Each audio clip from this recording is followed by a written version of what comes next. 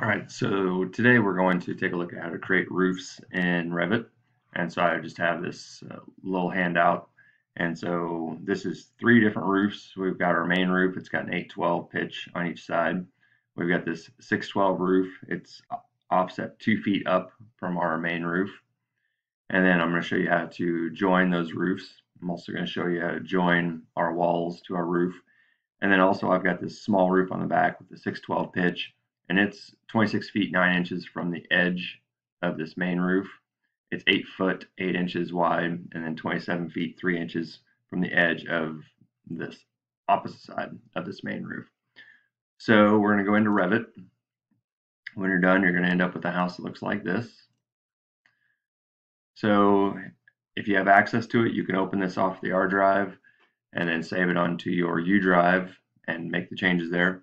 Uh, if you don't have access to this, uh, you can always go ahead and draw this. It wouldn't take very long to draw it. So this would be my walls. And so you can, uh, I'll zoom in here so you can see these dimensions.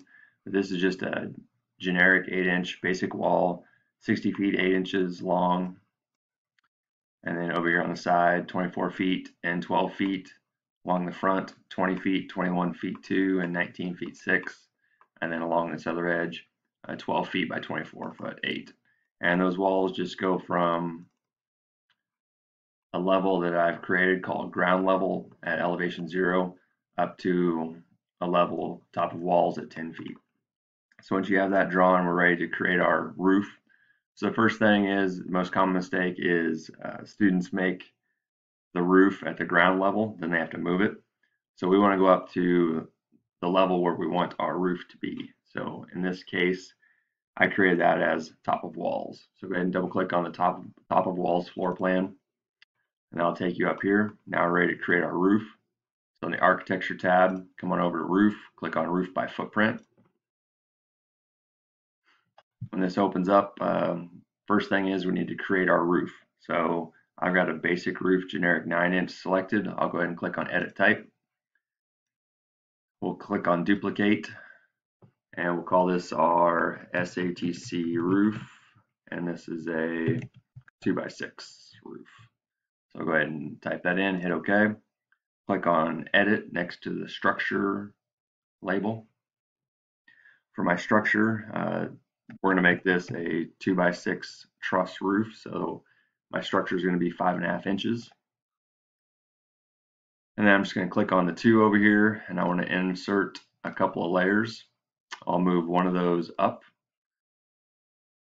So the one that I moved up, I'll change it to be finish one for the function. This is going to be my shingles and I'll just say shingles are about a quarter of an inch thick. So we'll make that layer a quarter of an inch thick.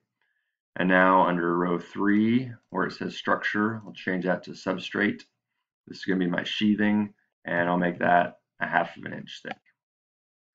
So my total thickness of my entire roof is uh, six and a quarter inches thick.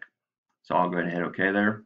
Comes back to my type properties of my SATC roof, my 2x6 roof. So I'll hit OK there.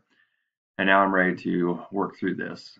So first thing is my create roof footprint, this contextual tab. I want to look through this. Um, in my draw panel, I can either draw lines, I can draw rectangles, I can draw any shape I want, I can pick lines, what we're going to use is pick walls. So we're going to pick these walls and it's going to create a roof from that. The other thing we need to take a look at is this options bar. So this is where you specify if you want a slope on your roof or if you want it to be flat on the edge.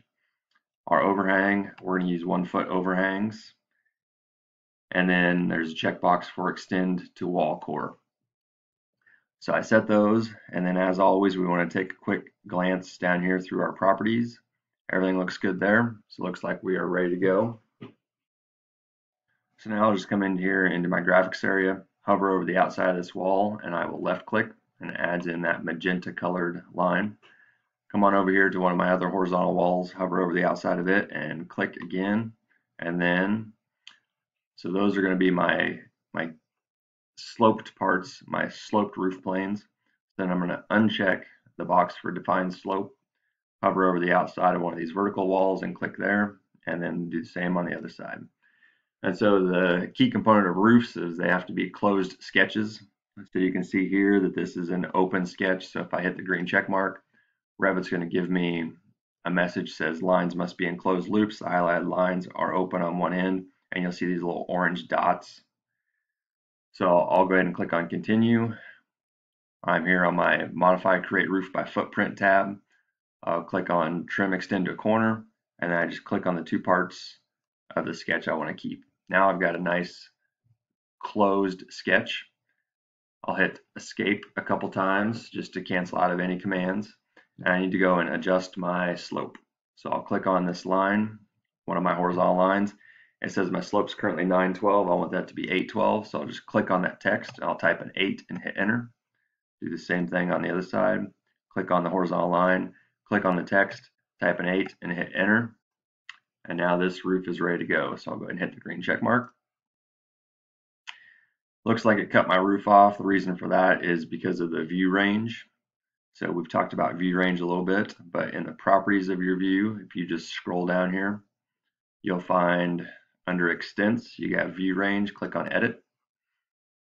You can always click on learn more about view range. This is a pretty good link and gives you some more information about the view range and its different settings that apply. So let me just resize this window right there and right here. There we go. So view range, it gives you these different numbers, one, two, three, four, five, six, and seven, and then it tells you what they are in here. So first thing I know, I need to adjust my top. So I just want to see my whole roof, so I'll just make that 50 feet. And then my cut plane, I need my cut plane to be at top, be above the ridge of my roof. So I'll just do 50 feet there as well. So I'll change both of those, hit OK, and now you can see your whole roof. You can also click on your 3D view. Go in here and you can click on this view cube and orbit around and you can see your roof from there as well. So there our roof looks good. So let's go ahead and close that view. Takes us back to our top of walls floor plan. Now I want to create this kind of medium sized roof here on the front. So to do it, I want to go to this other level that I set up. It's called plate height. And if I go to one of my elevations, you'll see that plate height is just two feet above my top of walls level. There you go, now you can see it. So top walls is at 10 feet, plate height's at 12 feet. So I'll go ahead and open up that plate height view. Now I can see my roof. Again, I still have a, a view range problem here, but it's, it's not going to be an issue. I can work around that. So over here, I want to see my walls down below. So I've got walls that I can select.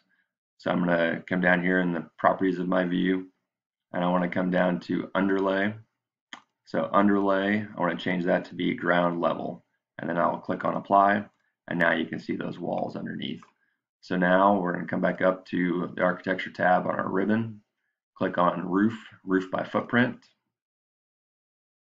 I still want to be pick walls. I have one foot overhang, define slope is unchecked. I still have my basic roof selected. So I'm going to come in here and I'm going to hover over the front of this horizontal wall and I will click there. And then I'm going to come back up to my options bar click on define slope and I'm going to click on the outside part of those two vertical walls. And now I'm going to come up here and in my draw panel just click on line and I just want to draw a line in here somewhere. The location of it doesn't matter at all and I'll show you that as soon as we get done with this roof. I'll show you why that doesn't matter.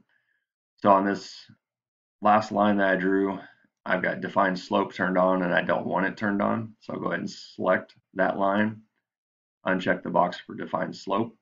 Come over here, just click on one of the vertical lines, and I want to change the slope on it. So with the line selected, I'll click on the slope, and I want to make that a 612. So I'll type a 6 in there, click on the other one, type on the text, click on the text, type a 6 in, then again use this trim extend to a corner to click on the two parts of these lines I want to keep.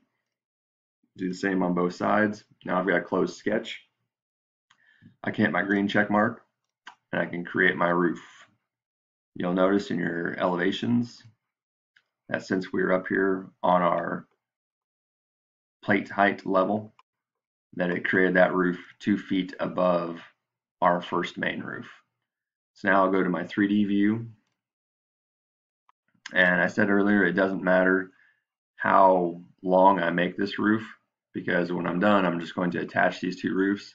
So if I click on my main roof or this uh, little medium-sized roof, it takes me to my modify roofs contextual tab. So over here under the geometry panel, I've got a join unjoin roof.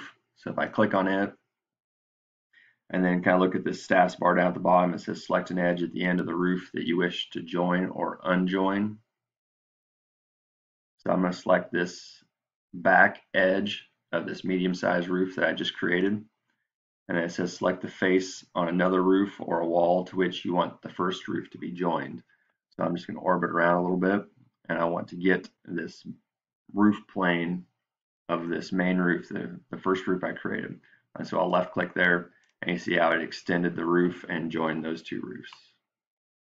All right, so now let's go back. I'm to go ahead and close this 3D view.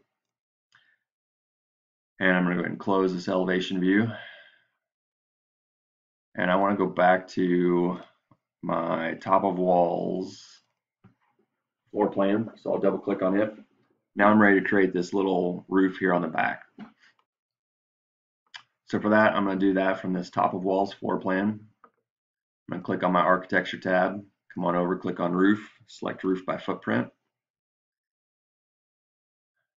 This time, I'm just going to draw this. So I'm going to choose a rectangle. I'm going to leave the box define slope checked. I don't want any offset. But what I do want is I want a base offset from level. So right now I'm at top of walls I want this roof to be six feet above the top of walls level. So for base offset from level, I'll type in a six and I'll hit apply. I'll come in here and just draw a rectangle in here anywhere. Hit escape a couple times. So first thing, these horizontal lines, I need to click on the horizontal line and uncheck the box for define slope on both of those. Click on the vertical lines and change their slope to a 612. And then dimension this roof to where I want it. So I'm going to click on my dimension icon, start over here at the edge of my main roof, and I will dimension to each vertical line and then the vertical edge of my main roof. So just click on those selections move your cursor up above anywhere and just click again. Now we have some dimensions. As always in Revit, I always start on one side and work my way across. So this first left line, I'll select that vertical line. Now this text in my dimension, I'll click on that text and I'll type in 26 space 9 and hit enter. And then click on my next vertical line to the right. Click on this text of my dimension. I want to make that 8 space 8, hit enter. And then as long as you did this right, that last dimension will be 27 feet 3 inches. All right, then the last thing is just to move this front edge of this roof back here. So I just clicked and drug on that horizontal line. I just want to drag it past the front edge of my main roof. And I'm going to put a dimension on there that from that horizontal edge to this first horizontal edge, I want to make that 4 feet. So I'll put that dimension on there. Escape a couple times to cancel out of my dimension command. Click on it, Click in the text, type a four foot. Everything else there should be good. I'll go ahead and hit my green check mark. Go to my 3D view. Now I've got my roof, so I can join it again. So click on it, click on roof join. Click on an edge of the roof, orbit around, click on the roof plane, it'll join. And then the last thing are these walls. So click on a wall, and then you come up here, attach top base, click on that. It says select the roof you want to attach it to. So just orbit around and select the roof and you can go around and do that on each side to attach all those different roofs, all those different walls to your roofs. And that's all there is to it, to creating roofs by footprint in Revit and attaching the walls and joining the roofs. So thanks for watching. Have a great day.